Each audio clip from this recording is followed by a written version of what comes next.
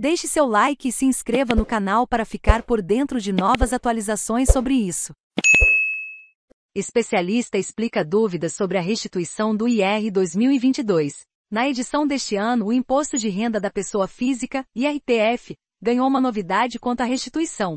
Ela deve começar a ser paga já no fim de maio.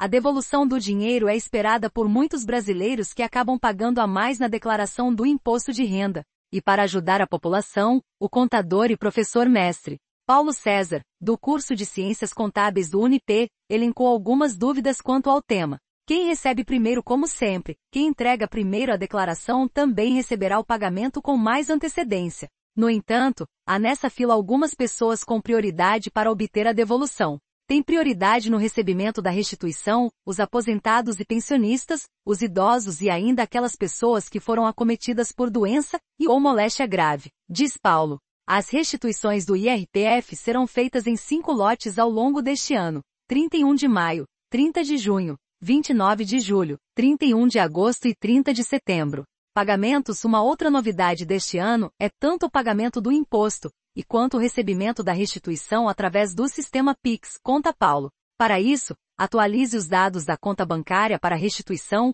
ou débitos do imposto apurado. Outra das formas de pagamento da restituição divulgadas no ano passado era de contas de pagamento que continua. Declaração simplificada ou completa. Essa é uma das principais dúvidas dos contribuintes, que não sabem exatamente qual seria o melhor modelo tributário para eles. Qual gerará maior restituição e menor imposto? Acontece que o próprio programa já mostra qual é a opção mais vantajosa para reduzir o imposto ou aumentar a restituição. No programa gerador do imposto de renda, ao término do preenchimento é possível escolher em opção pela tributação, um dos modelos. Já na sequência serão mostrados os valores a pagar e a restituir. A possibilidade da opção pela declaração simplificada ou completa não sofre influência do tipo de declaração, mas dos valores recebidos pelo contribuinte e os valores que ele gastou, e que podem servir para deduzir base de cálculo do imposto, explica Paulo. Como usar o dinheiro considerando que ainda vivemos em um momento pandêmico e de crises socioeconômicas?